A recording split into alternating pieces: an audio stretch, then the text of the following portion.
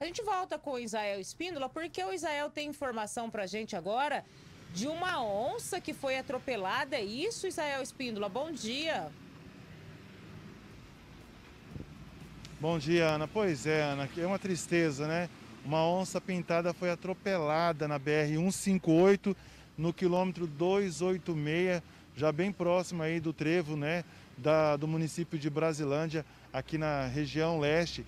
E aí a Polícia Rodoviária Federal, aqui da delegacia de Três Lagoas, fazia fiscalização na rodovia quando encontrou este animal agora nas primeiras horas da manhã desta quarta-feira.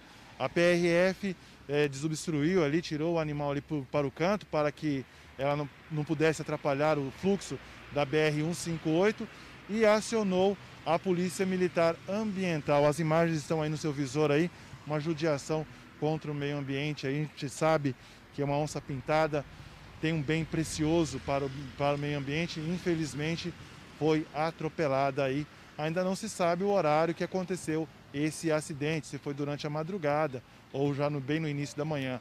Ele foi encontrado agora cedo pelos policiais rodoviários federais aqui da delegacia de Três Lagoas. Ana, uma tristeza, mais cena como essa, viu? Volto com você.